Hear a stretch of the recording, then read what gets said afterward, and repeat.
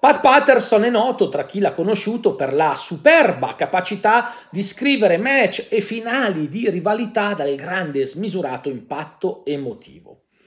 un match che ci fa piangere, che ci fa palpitare, che ci fa immergere nell'azione, che ci fa arrabbiare, che ci fa incazzare, che ci fa ridere, che ci fa abbracciare il vicino. Ecco, Patterson è stato capace di creare scenari che ci hanno portato a tutto ciò. E del suo talento come sceneggiatore ne hanno beneficiato in tantissimi, da Hulk Hogan a Macho Man Randy Savage, sino ad arrivare a combattenti di una o più generazioni successive, come Kurt Angle e Chris Jericho. Quello che pochi sanno però è che Patterson ha avuto in questo campo un maestro straordinario, e cioè l'organizzatore di eventi Roy Shire, per il quale Pat ha spesso lavorato in California negli anni in cui calcava il ring come lottatore. Di questo incredibile impresario sono rimaste sul web poche testimonianze dirette e non fa molto figo cercarle. Ma la sua federazione, la Big Time Wrestling, tra il 1960 e il 1980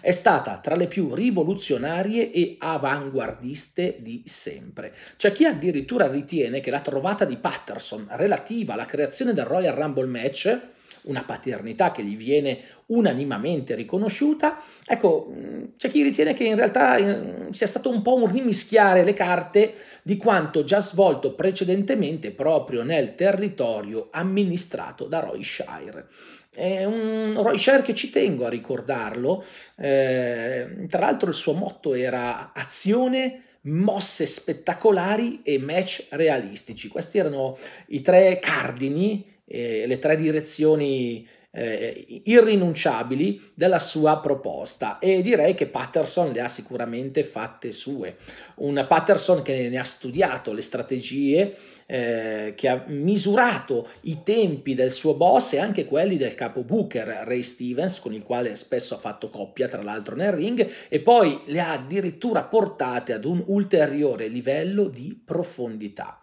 E non è un caso che in queste ore, quelle successive alla sua morte, praticamente tutto il mondo del wrestling che ha contato qualcosa negli ultimi 40 anni gli stia rendendo omaggio e onore, perché di gente come Pat Patterson, beh, il mondo del wrestling ne ha vista davvero, davvero poca.